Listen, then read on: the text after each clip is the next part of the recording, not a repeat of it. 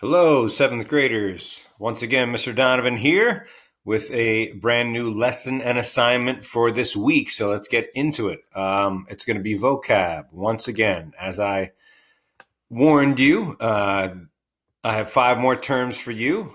These are the ones that we did uh, two weeks ago, right here, um, the week of the fourth. And so we had a new Newsella article last week this week, we're jumping back in with some brand new terms. So let's take a look.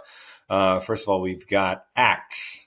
Acts are the units of action from drama, similar to chapters in a book. Now, this is not to be confused with acting or actors. Um, those are terms that define the sort of, you know, the art of acting um, within theater.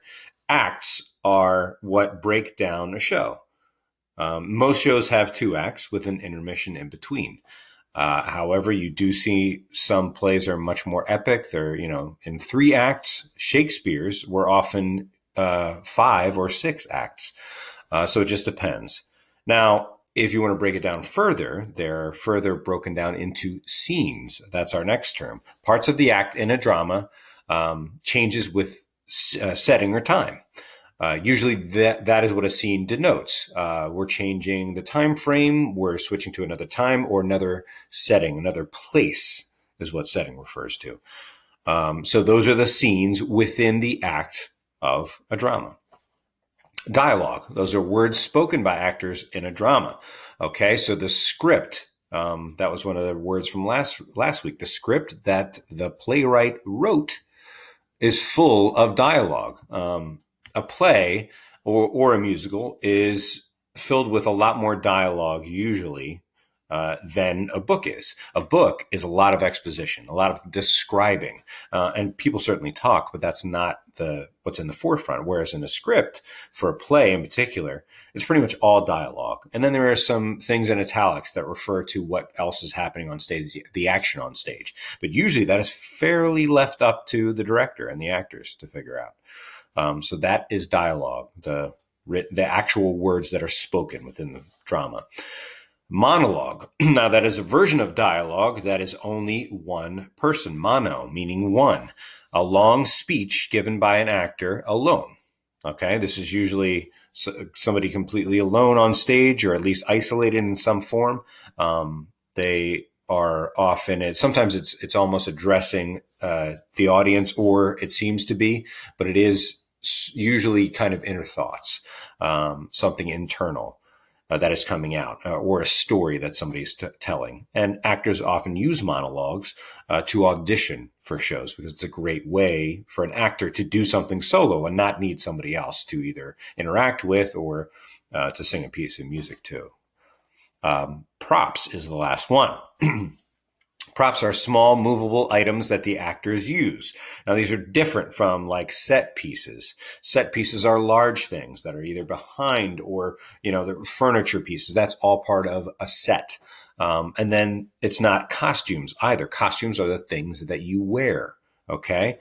Um, this is technically a costume piece, right? This would be a costume piece. If my character were to wear glasses, this would be, but However, if this becomes something that transfers to another character um, or is used in some way, left on a desk, and therefore then has to be picked up, has to be set there, um, then that sort of becomes a prop, right? Um, but a prop could be something like you know uh, a wallet or a um, a purse or um, anything, anything that is is something that you can sort of move and carry easily. That is you know helps tell the story. That is what a prop. It's short for properties. That's the long version of it. All right. So those are your five terms. Let's quickly revisit how we do this thing. Going back to my slideshow here. Let's make my face a little bit smaller and move it over here. Actually, you know what? We're going to keep it over here. So this is the slide that I made um, uh, last time we did this. Take a look at that. And now take a look at again, real quick, how I put that together. Let's break it down. There are four elements, once again, that these vocab slides have to contain. And they are, first of all, the vocab term. This was my example. This is not one of your terms. Audience. its definition, that's number two, an image of some sort that helps, you know, identify what the term is. And then, of course, a sentence. Use it in a sentence. Again, some people were a little bit um, confused about that. They would write a sentence that um, described the word or helped, I guess, define it further, but they weren't actually using the term in the sentence. And that, that is the idea. Okay. Um, and again, this is one I created live for you. I'm going to do that one more time just for fun. Okay. So let's create, you know what? Let's not do that. I'm going to do a brand new one. This is something I'm sure you guys know, but um, you can pick sort of a different, I'm going to, I'm going to stay within my template, but pick a different format. All right. So there. Cool. That's a new one. Uh, let's grab let's grab one of these terms. I am going to just do dialogue. Okay. So dialogue. Let's go ahead and plop in the term. Got to spell it right, Mr. Donovan. There we go. Dialogue. And let's literally go and copy and paste the definition, that's the easy part.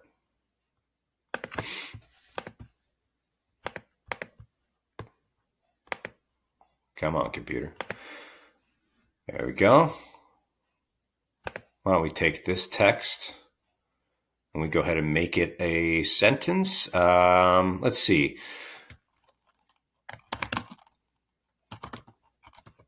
The dialogue was so contrived that the characters really weren't whoops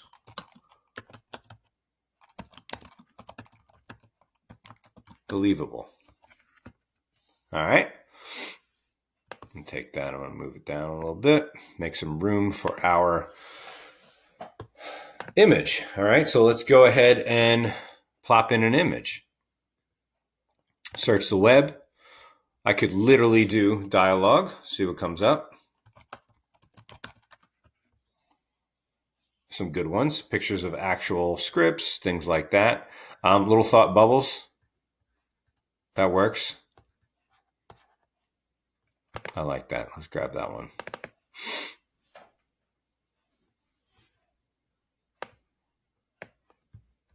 But you could plop in talking, you know, you could plop in um, something about the script, something about words. You know, there's there's a couple different ways you could go about that. But there we go. There's my image.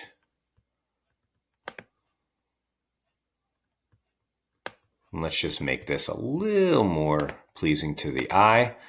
You guys are not, you're more graded on your content than the look, but if you spend a little more time on uh, the look of it, I can't help but enjoy that. So go for it. Let's make that match that. And there we go. We have a slide. All right. It's just that simple, just that easy. Once again, the word, the definition, an image, and a sentence. Okay. And I like to do this as well. Let's go ahead and so that we pump out that word. Whoops.